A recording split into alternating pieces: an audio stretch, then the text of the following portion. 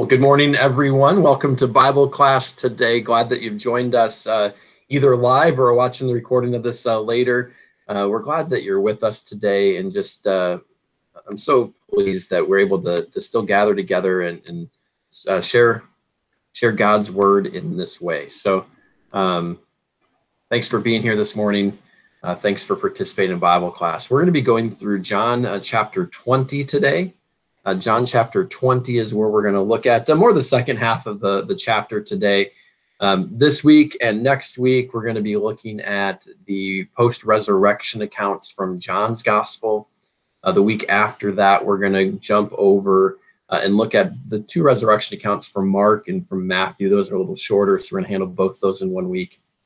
And then we're going to jump into um, looking at the resurrection accounts from Luke's gospel, which will take us up to the ascension and then we'll jump over um, when we remember the ascension, uh, the, the, timing with that as we go through uh, these days after Easter with Jesus.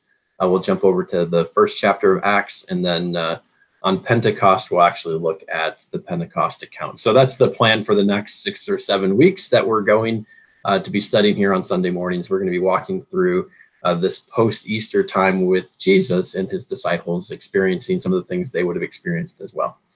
All right, so let's go ahead and begin with prayer. Heavenly Father, thank you for today. Thank you for the blessings of this life that you give to us. Lord, thank you that even though we are far away from each other, distant from one another, you are not distant from us. Thank you for this platform that we're able to come together uh, and study your word, uh, to learn, to grow, to be edified, to be strengthened and challenged for our lives as we follow you as your faithful disciples.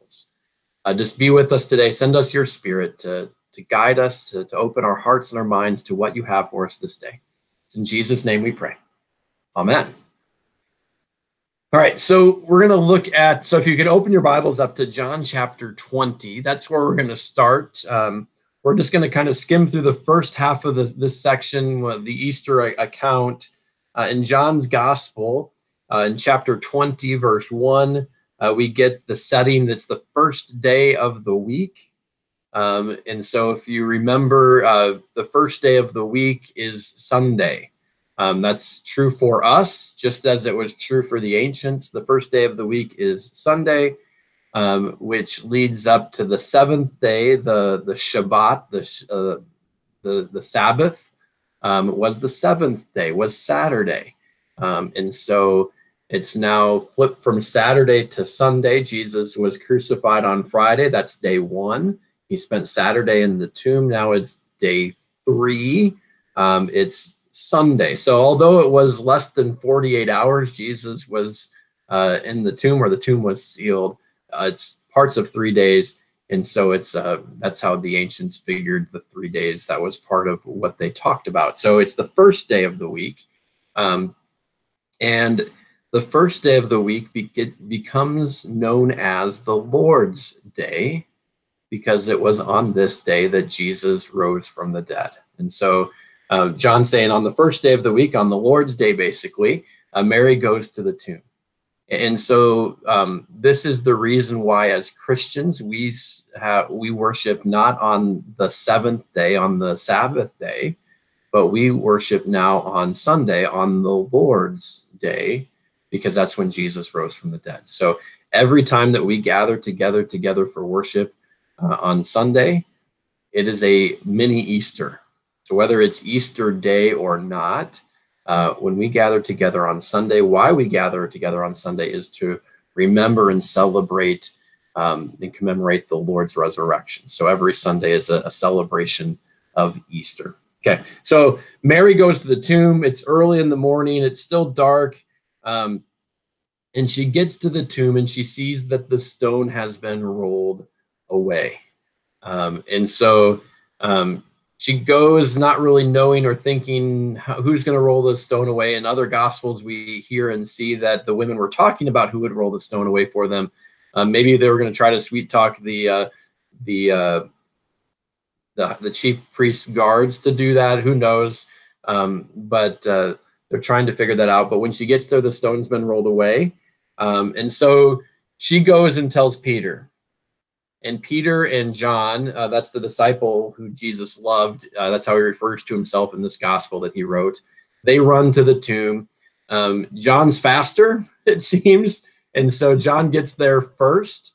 Um, we're, we're probably talking a distance of um, maybe a mile, uh, probably less than a mile, maybe a half mile, but it's through city streets. And so uh, John is, whether he's faster or not, he's more nimble and he gets there quick, more quickly.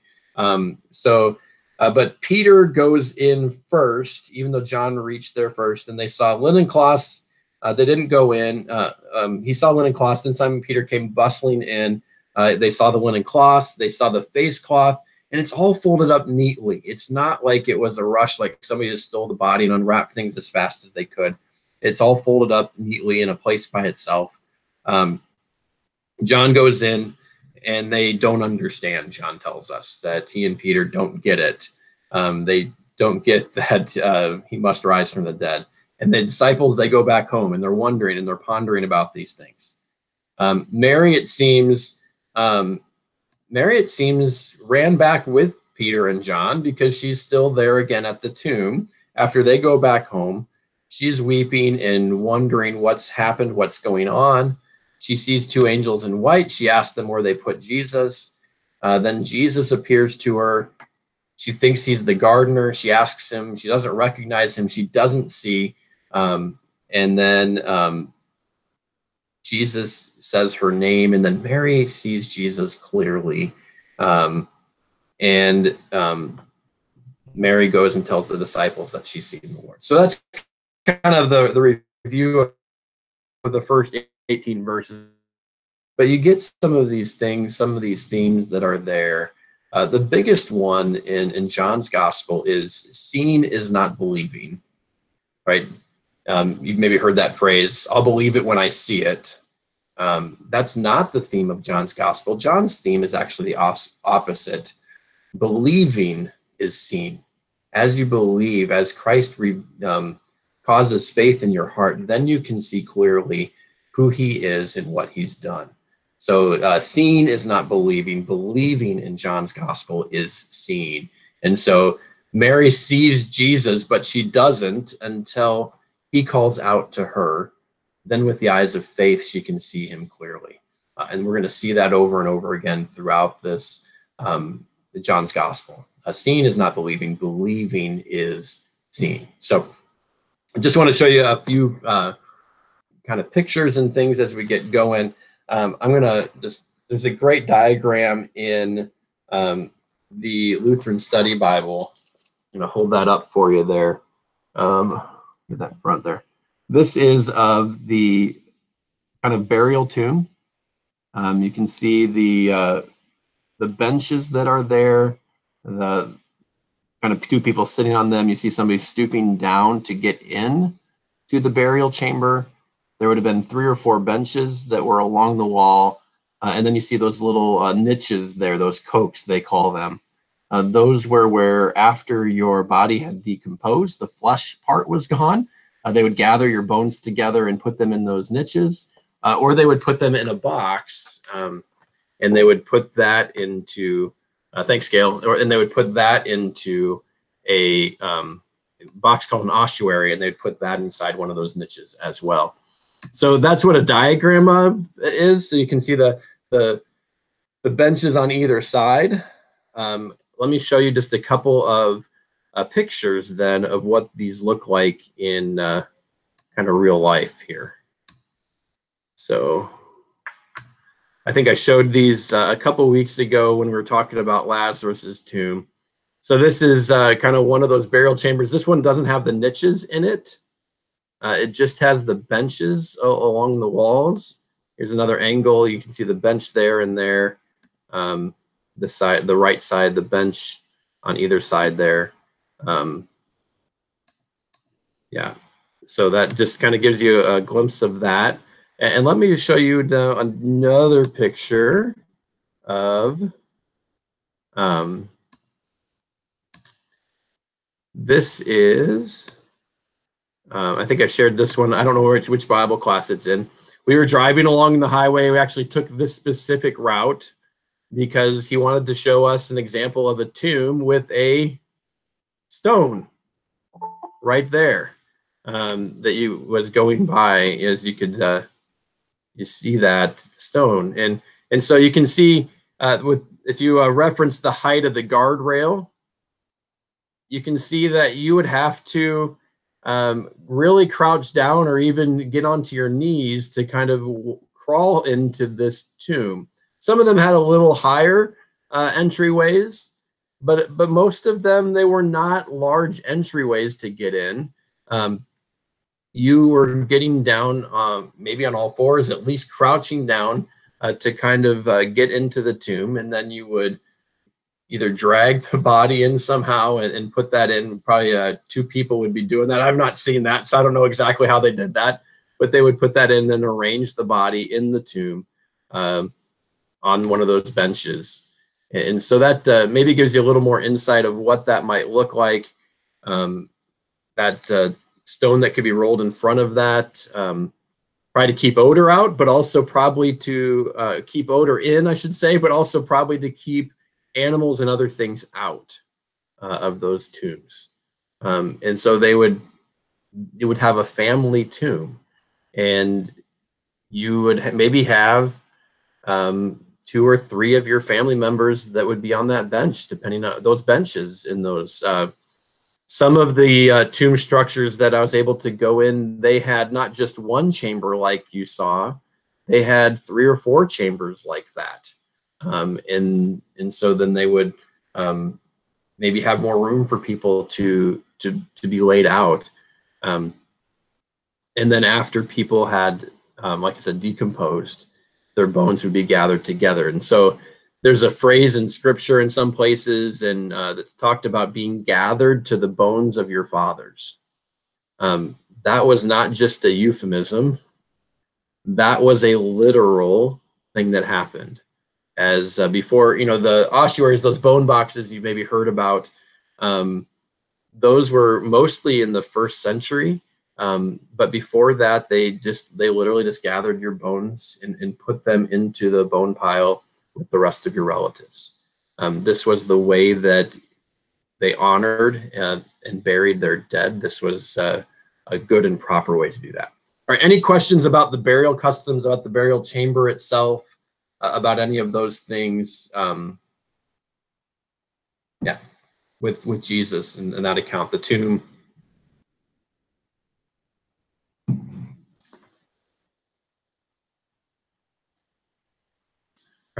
Seeing none. If you got any, feel free to type in the comment or jump in and unmute yourself and jump in. Seeing none, we're gonna kind of move on here. Um, yes, Patty.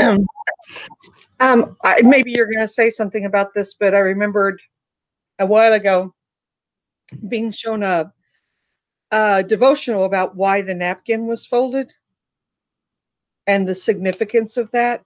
That in I think I tried I looked it up just a minute ago, but in Hebrew traditions, the servants would set the table like they were supposed to, just exactly like the master wanted it, and they wouldn't dare touch his plate until he was finished. And if he stood up, wipe if he was finished, he would wipe his hands, wipe his beard, and just toss the napkin on the table, which meant I'm finished. But if he was just walking away, he would fold it and laid it back down. And that meant I'm coming back. Interesting. Yeah. And, and so that's what a, a, good message for us too, that it, it's folded, it's, it's intentional. It wasn't just uh, heaped up somewhere. Thanks, Patty, for sharing that. All right. Um, yeah. Any other thoughts, comments, questions?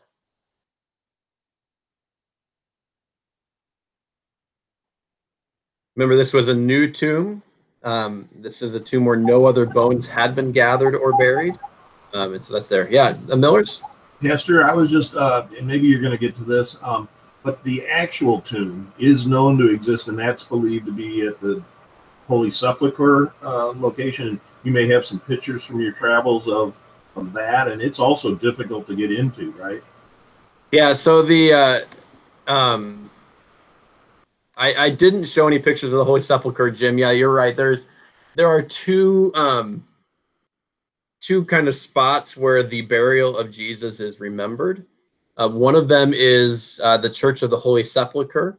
I think is is probably uh, more accurate historically um, than the other, um, but it, it, doesn't look like a tomb anymore. Um, it it has a, a big old uh, kind of church-like structure, um, very orthodox, um, gaudy by my tastes um, structure that's uh, put around the whole thing with with candles and uh, incense and, and all these kinds of things. Um, that is most likely, and I think historically has has the most uh, truth to to where Jesus would have been buried. Um, and, and, so you do kind of uh, they built a, a, church around it, and they built a church around that, and, and it's just a, a, magnificent structure. But it's it's not very you know that tomb that picture I showed you of the tomb with the stone is what we all think of, right? it's not anything like that. And so you walk into this little kind of church like thing, you walk down a few stairs, and then with candles and everything else around it, it's just a, hard bedrock slab, is all that's left of the tomb. Um, the uh, the tomb existed in maybe different ways or over the the history over uh, over time. Um, back in the so after in the early days after the resurrection, um, tradition tells us that the disciples of Jesus, the, the followers of the way, um, this is outside of scripture, but they tell us that they met at this tomb of Jesus every week, uh, sometimes even daily, um, to remember the resurrection of Jesus. Um, you know, when we have our resurrection eggs, we say, hey, look, the last egg, it's empty, right? There's nothing in it because Jesus is empty and the tomb is empty. Well, the first followers of Jesus in Jerusalem they met at the tomb every week and said, Hey, it's empty. He's alive. He's not here. Uh, and that continues on for a, a long period of time when um, Rome destroys Jerusalem um, in 70 AD. Um, we're not sure about the history and the practice, but we see that uh, we believe that Christians still did that. Hadrian, if you remember Emperor Hadrian, he built Hadrian's Wall in England, all of that kind of stuff. Um, uh, the Roman Empire emperor he builds a, a statue and a temple to a Greek god on the site where the tomb is today. The Holy Church of the Holy Sepulchre is today. So he does one on the Temple Mount. He builds a temple to a Greek god, and he does one in this location. Why else would you do that if you weren't trying to supplant worship that's already going on? We get why you would do it on the Temple Mount. Well, why in this location? Well, that's where the Christians were remembering Jesus being born. So he's trying to, or being being buried and risen. So, um, so that there, um, when uh, Constantine's mom comes through the Holy Land uh, in the 300s and is trying to find all these holy sites, uh, she's the one that says this is the place. Um, based on the history of, based on asking everyone else around, um, and it's where this uh, same temple, you know, had been. Um, and she then turns it into kind of the first church of the Holy Sepulchre. Um, and so that's where the site is remembered. Um, it was outside the city wall on Jesus' day. By the time that uh, Helena comes along and does this, it's now inside the city walls of Jerusalem.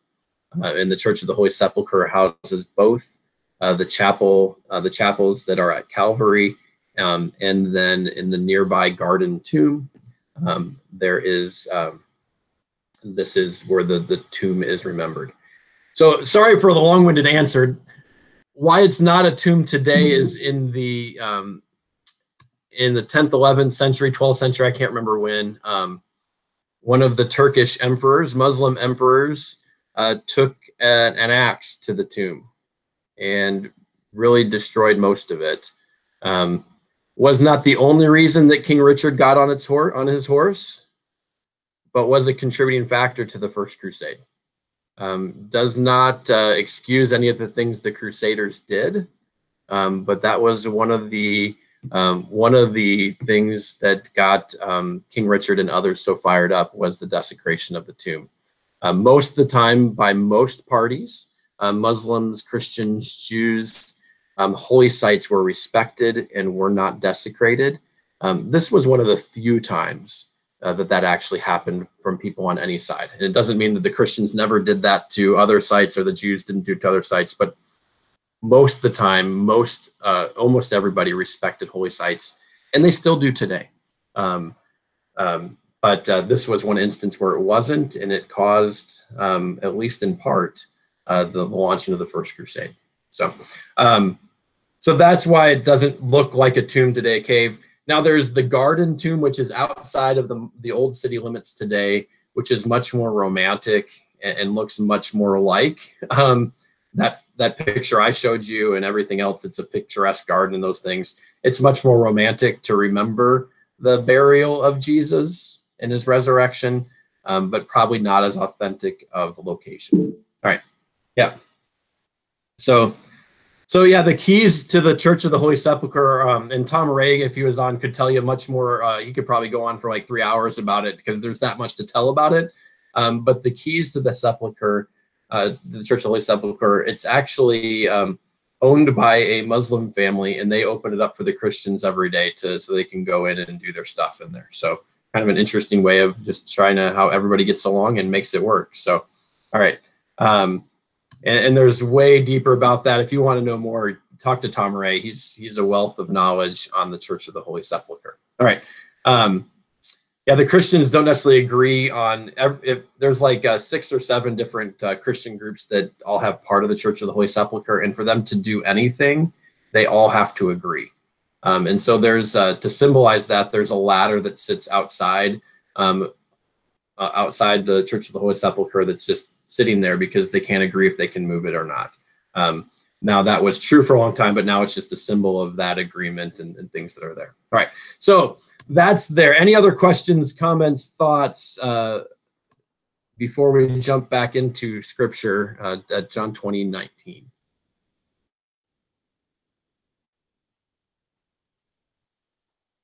Find a couple pictures of the sepulcher too, we'll see.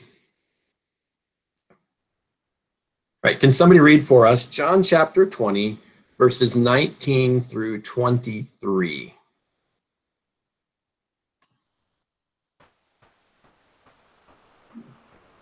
On the evening of that day, the first day of the week, the doors being locked where the disciples were for fear of the Jews, Jesus came and stood among them and said to them, Peace be with you.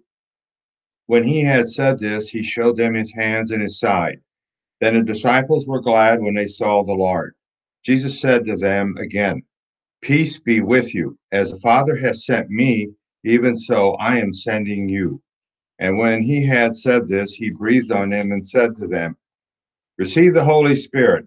If you forgive the sins of any, they are forgiven them. If you withhold forgiveness from any, it is withheld. All right, thank you very much. Um, so as we we look at and, and, think about this passage again, um, it's the the evening of that day, the first day of the week. So this is uh, included that it's Sunday evening. The, the time hasn't elapsed or passed. So we've got the disciples, John and, and um, Peter, run to the tomb, and they uh, they uh, go back. They're wondering. They're in disbelief. They don't know what's going on or why. Um, and so they're stewing on that all day long. Because remember, Mary goes at dawn um, before the sun's even completely up.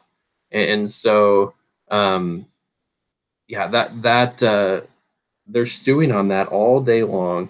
And, and the doors are locked because they're afraid of the Jews. They're afraid of um, what the Jews might do, right? They've killed Jesus. Um, and now they are afraid that they're going to come and make a clean um, a clean job of it and, and kill the disciples too. Um, and so they're hiding. They are in this room. Everything's locked. They're shut up. Um, they're just trying to bide their time and, and get through that. They're afraid. On top of this, they're wondering, well, maybe the maybe the they think we've stolen the body, so they're going to come in and hunt after us. Um, and, and so there's uh, they're afraid. Um, they're afraid that um, their lives are in danger. Um, and, and, then we get this awesome thing where the doors are being locked. And what does Jesus do? Locks don't stop Jesus. Jesus appears in the midst of the room with them.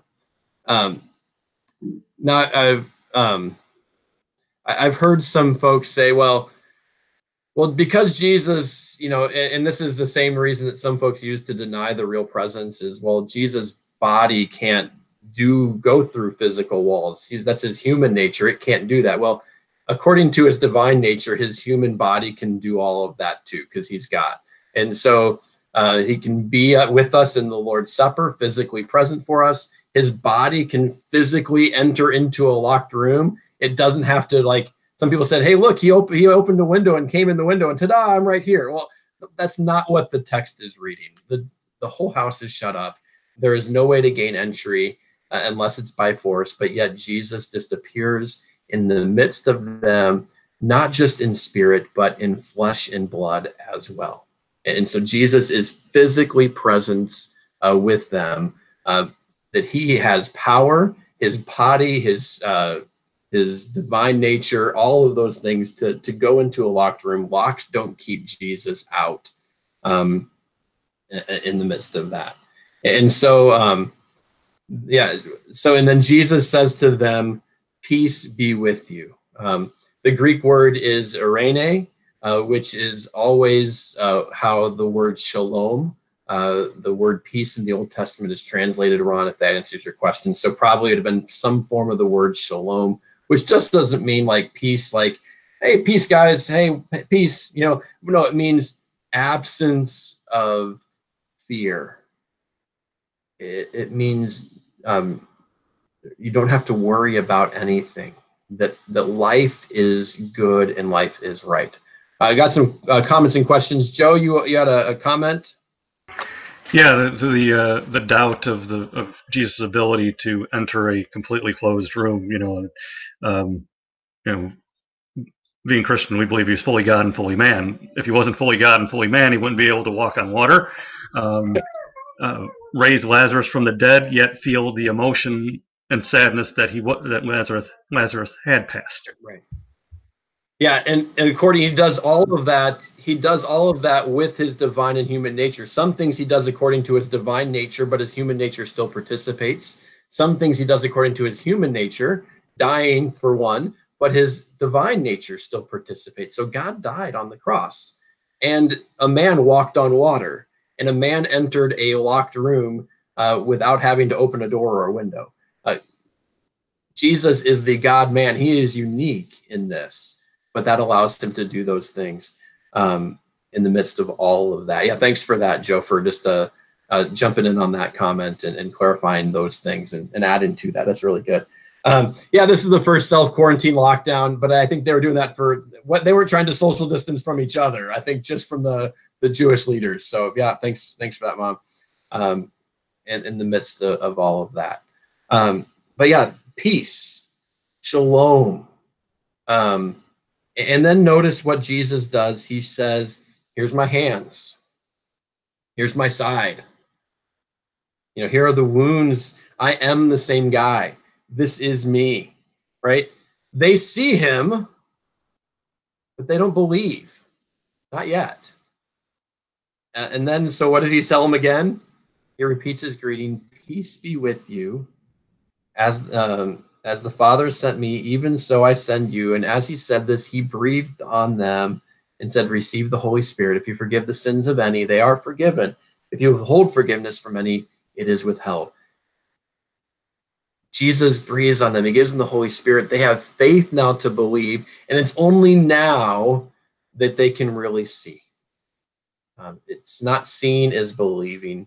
For the disciples, it's believing being that gift, giving that gift of Jesus' word to them, that peace to them, um, the Holy Spirit that comes through that word that then allows them to see. Believing is seeing. Um, and so they, uh, this is, uh, in some senses, John doesn't talk about Pentecost. This is his Pentecost here where Jesus breathes on them uh, and they receive the Holy Spirit. This is uh, John saying they are uh, commissioned by Jesus. They're ready to go. Um, this is also his great commission in John. It's not um, go and make disciples, but it, it's um, I'm sending you. And his message that he's sending them with is forgiveness. The message uh, uh, is to forgive. Uh, and what a what kind of a you know I'm sending you just as I was sent. Now go and give forgiveness, give mercy, give grace, give peace to other people. All right. So let's just uh, um, stop there for a second um, and just uh, kind of talk about and discuss a little bit how does God continue to share his peace with us? And, and how does he do that over and over again, right? He shares the peace of his peace with the disciples and he says it twice to them immediately. How does God share his peace with us and how does he do that uh, continually over and over again? Any any thoughts, comments, questions?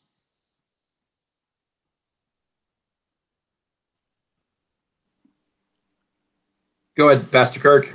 Well, one of the things I was thinking about already was when you and Pastor Schultz come out and say, "The Lord be with you," and we and also with you, yeah. Lately, lately, because we are doing this virtual worship, uh, I hear people in the background responding, but we do respond as well, and I want you and Pastor Schultz to know that that I appreciate that. Even as a pastor, retired now, I appreciate those words more perhaps now than I perhaps have in the past and then the other thing I would ask about is uh, how are we going to share the sign of peace after we get back together? That's a great question, Pastor Kirk, that I don't have the answer to at this point. uh, some people are telling us we shouldn't ever shake hands with anyone ever again.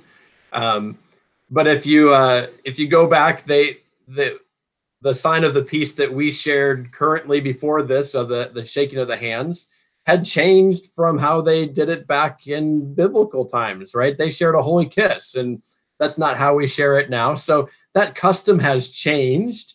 Um, and so if if we have to or need to change that custom, we'll figure out a way to share the peace uh, even in, in these times and, and to keep us safe and to, to May, be called.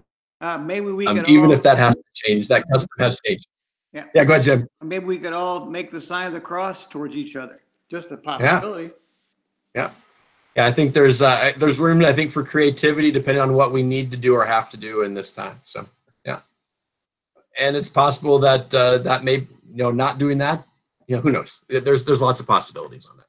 All right. Uh, other thoughts or questions of how um, God continues to share peace with us and that He does it over and over again. Thoughts, questions, comments.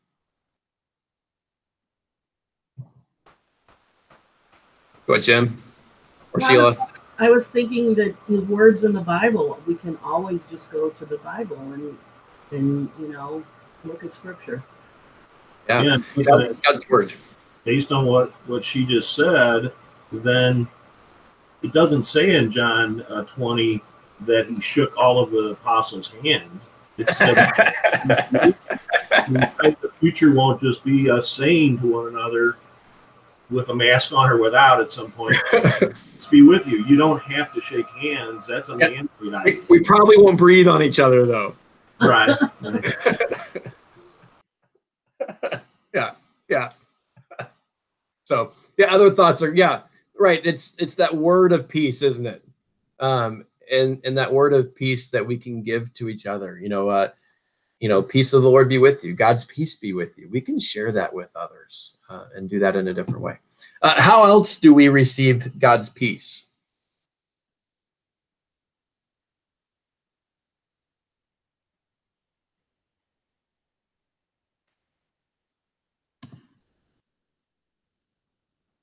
I think the ongoing feeling of uh, realizing through Christ we are in the realm of God's love and separated from condemnation. Yeah, just uh, that real realization, that reality, and hearing that again of of what God's done for us. I see a couple different comments that talk about um, communion, the Lord's Supper, what God gives to us in the in the the sacrament. Um, you know that that physical, tangible reminder of God's presence. Uh, and all of these things that we're talking about they're not just one-time things. He, he does them over and over and over again for us. Um, that god continually pronounces his peace uh, to you and to me. Um, just as he needed to with the disciples um, he gives us that word so that we can believe. And as we believe we then can see jesus clearly and know the peace that he has for us. Um, whether that's through reading promises in his word, whether that's through the Lord's Supper, whether that's through the, uh, the words of our pastors or other Christians as they speak that peace to us, um, whether that's through, um, you know, um, all, all, any of those other gifts that we were talking about, um, the blessings um, that God gives that they, they fill us up. They in in God's life and yeah, uh, music. Yeah, another another way that that happens as those words and prayer. Yeah, thanks guys. You guys are awesome with that. So um, some of those comments that are coming through um, prayer and music and, and, they fill us up spiritually. Um, reading God's word, hearing it spoken to us, receiving the words of the absolution, uh, the words of the benediction. All of those ways, God gives us His grace all of the time in worship and then outside of that as well to lift us up and build us up. Okay, so shifting gears then, um, yeah, in our baptism uh, in the midst of that too. Thanks, Abigail. Um, the talking about the mission that Jesus sends the disciples on. It, it's a mission of forgiveness. Why is the job of forgiveness or the pronouncement of forgiveness? Why is that the mission of the church? Why would that be what Jesus tells the disciples there to do? Is to forgive and withhold forgiveness of the unrepentant, right? I don't want to just say, oh, we forgive just whatever, but it's those that are repentant, those that are um, in sorrow for their sins and seeking restoration. Why is that the church's job to forgive? Why, why is that how Jesus here, uh, John records Jesus saying, this is what you're to do?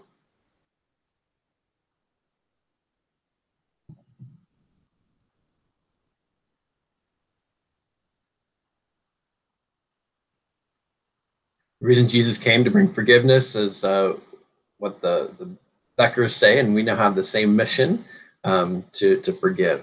Yeah. Wasn't sure if that was my mom or my dad. That was dad. Okay, good. All right.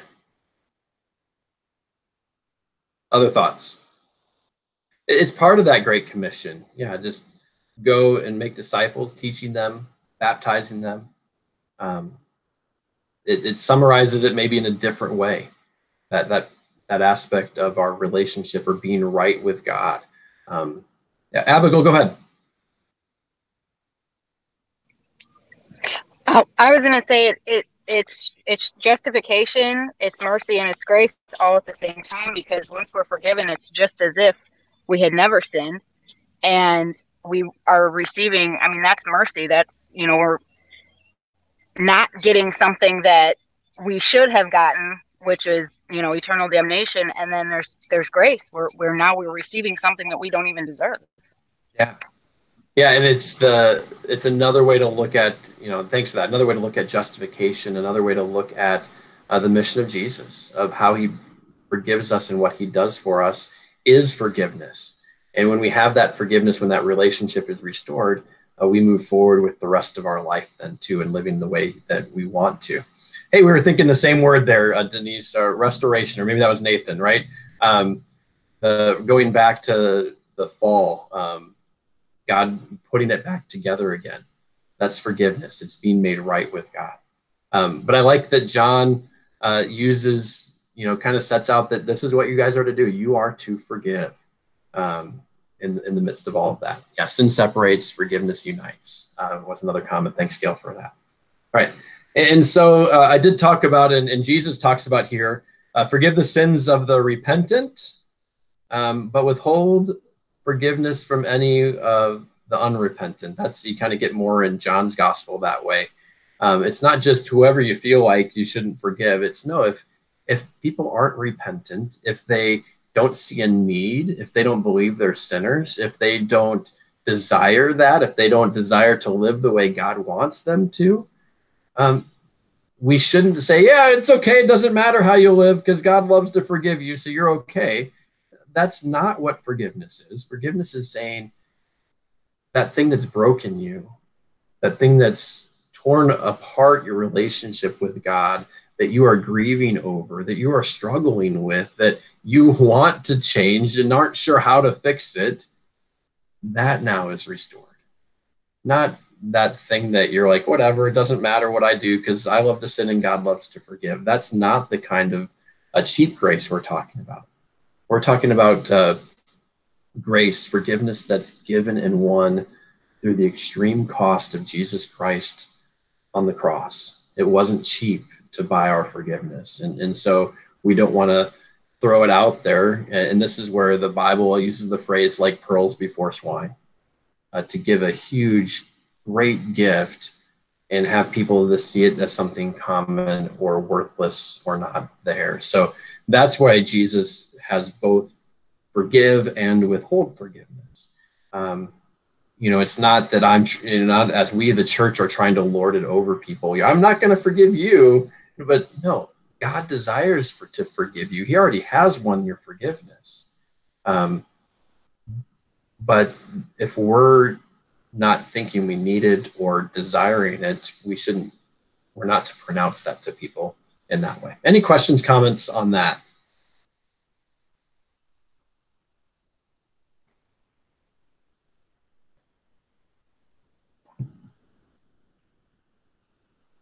Yeah.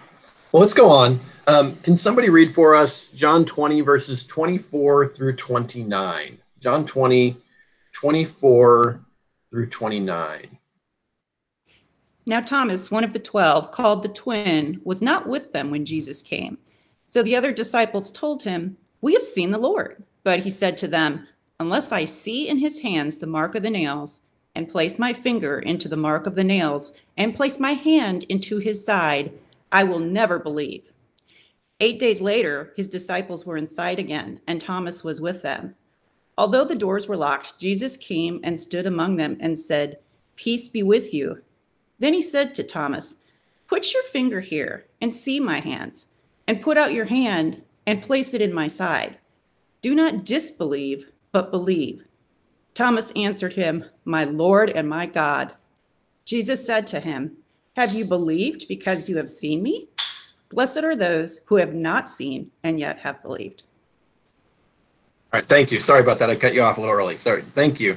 Um, so, so we get the setting again. It's it's eight days later, um, which um, we'd say, well, now it's the Monday of the next week, but it's like, uh, no, they actually, when they're counting it, they're counting the first day would would be Sunday, and then you get seven more days till you get to the next Sunday. And so eight days later is um, that's um, that's an idiom basically for one week later.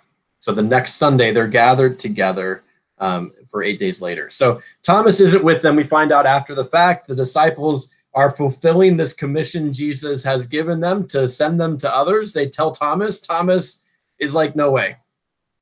I have to see to believe, is what Thomas says. And, and so, and, and, I have to even touch to believe. I need the physical uh, presence of Jesus so that I can believe.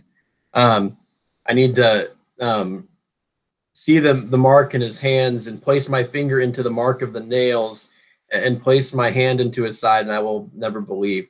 Um, that place my hand in his side and place my finger in the nails that that's like a, a digital exam. That's like he wants to thrust his finger inside and feel around. It's that descriptive and graphic of a term.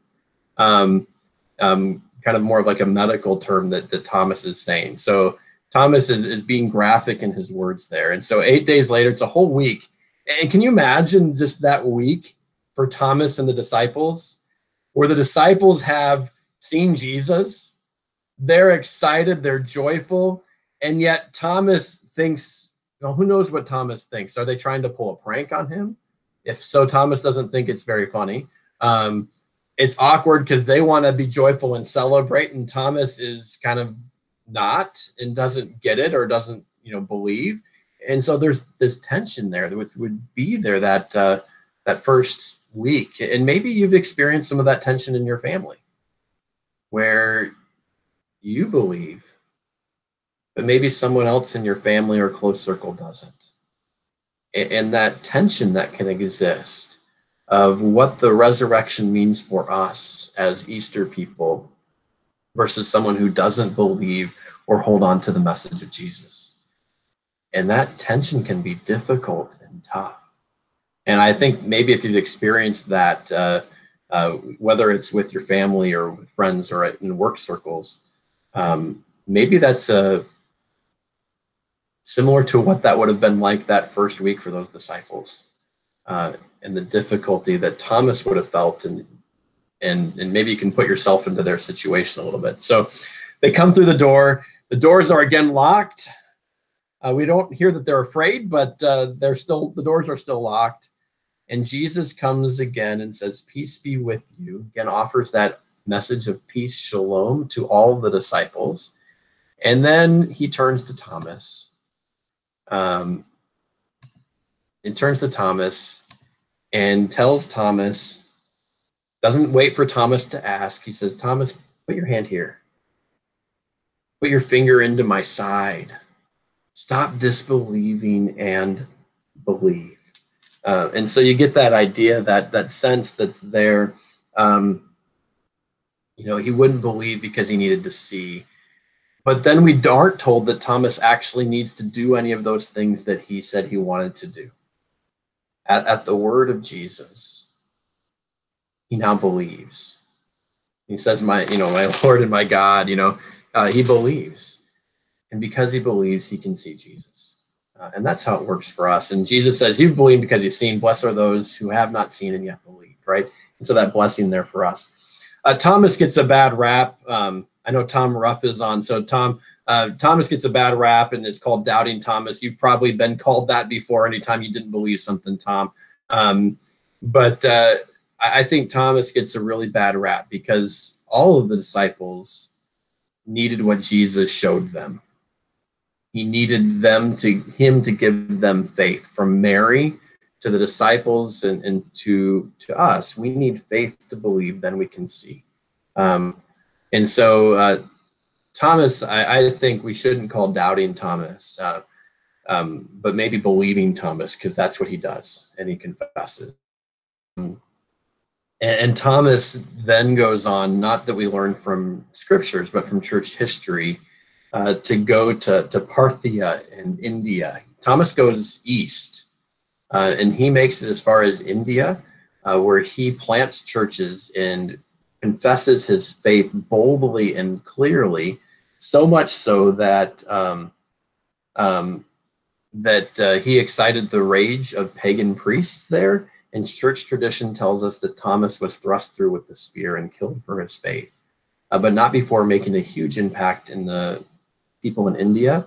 Uh, so much so that there are still remnants of churches that um, of faithful believers that can trace their belief all the way back to Thomas.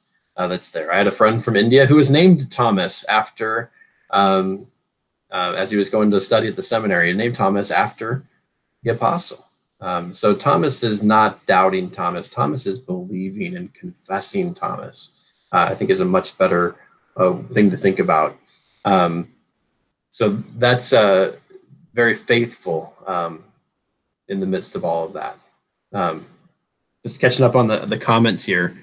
Um, yeah. So yeah, Jim, there's probably, you're right. Just uh, this fear of what are others going to believe? Thomas was with us and he doesn't even believe us. Are other people going to believe us if we tell them? Um, um, yeah, Thomas, uh, Jesus knows what Thomas said without Thomas, without the disciples having to share that with him. Jesus again shows his divinity by knowing what Thomas was saying and thinking and feeling and Jesus addresses that fear and that doubt directly. Um, and, and, so Thomas, in the midst of that, was very faithful too. Uh, just like all of the disciples, uh, all of them, uh, all the apostles, uh, except for John, uh, suffered a martyr's death. Uh, John did experience persecution. He was exiled. A church tradition tells us that he was tried to. They tried to kill him on at least one occasion, if not several. Um, but John was the only one that seems to have died of natural causes. Um, yeah. So, in that, you know, as missionaries uh, go to different parts of the world, they we continue to follow in the footsteps of the apostles as we go to known parts of the world uh, in that. And our missionaries uh, have been in India now for 100 years from our church body. Thanks for pointing that out, Sylvia. That's really cool. Yeah. So, um, yeah so just looking forward. So Jesus ends that with a blessing of how of you know, blessed are those who have not seen and yet believe. Um, how do you find joy and comfort in that blessing of Jesus? Yeah, where God comes to us in a in a powerful or meaningful way, uh, Judy and Ed, as you comment there, just uh, um, to give us that some type of Thomas moment, um, in a special way that, that God works and reveals through the, the events in our lives or through a person in our life to explain something or to to help open our eyes with the eyes of faith so we can see then. Yeah. How else does God, how do you find joy and comfort in the blessing knowing that uh, Jesus says, Blessed are those who have not seen uh, and yet believe?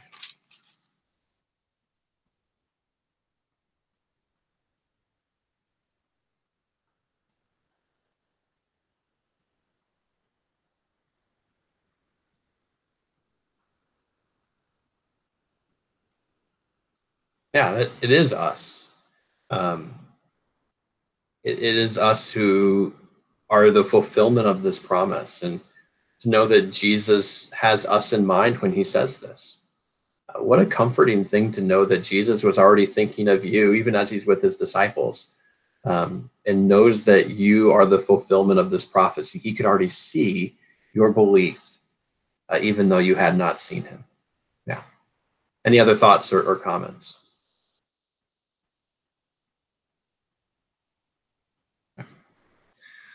Well, let's uh, then let's finish up with uh, the last two verses of this chapter, 30 and 31. Now Jesus did many other signs in the presence of the disciples, which are not written in this book. But these are written so that you may believe that Jesus is the Christ, the Son of God, and that by believing you may have life and his name. And and so uh, as we we think and look at that, uh, John wrote the things down that he did. John wrote his book. We're given the purpose of it. He wrote down everything that he wrote down so that you can believe that Jesus is the Christ. That's why he wrote down what he did. Did Jesus do other miracles that aren't written down in John's gospel? Yeah, we know about some of them from other books of the Bible, uh, from some of the other gospels. Did did Jesus say other things that aren't written down in any of the? Yeah, yeah, Jesus said and did so many things. But the ones that John wrote down, in the way John wrote them down, he wrote down with the express purpose so that you would believe that Jesus is the Messiah. And that through that belief, you may have everlasting life, life in his name. That's why John wrote down what he did. Um, um, and so through that belief, we are saved. Um, we get life, a life now with peace and hope and comfort and forgiveness with God, but life forever with Jesus. So, um, so you know, kind of just as you think about that, I, I was like, well, what would I want to be written down that John didn't include? You know, like, you know, John John wrote down what we needed, but maybe there's some things you would want written down. Um, I think about like I'd kind of want an exhausted list of miracles, you know, that would be there, or um, I'd want uh, more details on what happened when we die, or or some of those things. Um, but John wrote down so that we could believe. Um, you know, and so you may think of have those other lists of things like when I get to heaven, I'm going to ask God this, right? Well, John might have known that or experienced that with Jesus, but he wrote down the things we needed um, so that we could believe and, and so that we could see. Um, yeah. So, um, yeah. And that's the true for all of us too. And, and, Abigail, just the, the thought there of the Old Testament believers too, um, that believe in God and that um, trusted in the promise of the Messiah without seeing Jesus, without seeing that fulfilled, that is that that was what was saving for them too. They trusted in the Messiah, that Jesus is the Christ. They didn't get that revealed to them specifically who Jesus was, but they believed in that promise. They saw with the eyes of faith. They believed, and because they believed, they could see. Uh, true for the Old Testament believers, true for us too. Um, yeah, Jim, what made Jesus laugh? I, I, would love to, to know that. In my office at church, I got hanging uh, on my wall a, a, depiction of Jesus laughing. Um, and, and what made him laugh? Was it the, you know, you know stories of jesus laughing would be great i'd love to have those included in scripture um, Jesus laughed. He was like the rest of us. But what what it that made him laugh? Well, we, we aren't told any specific stories that way. Um, and I'd love to, to hear that too. So, yeah. So just uh, as we as we kind of close today, as we think about uh, that, we continue, as Sylvia says there, that to need the Holy Spirit as He comes to us to open our hearts. Um, that Holy Spirit given to us in baptism uh, is the one who continues to be present with us. We hear God's word. The Holy Spirit is working as we um, are a comfort to others. The Holy Spirit is working as we um, share that love and that mercy, that peace, that word of encouragement with others. The Holy Spirit's working in us to cause us to believe so that we can see Jesus, see how he still is active and working for us today, um, giving us peace, even in the midst of these times, uh, which are difficult and hard. Uh, the Lord gives you peace. Any other thoughts or comments today as we close?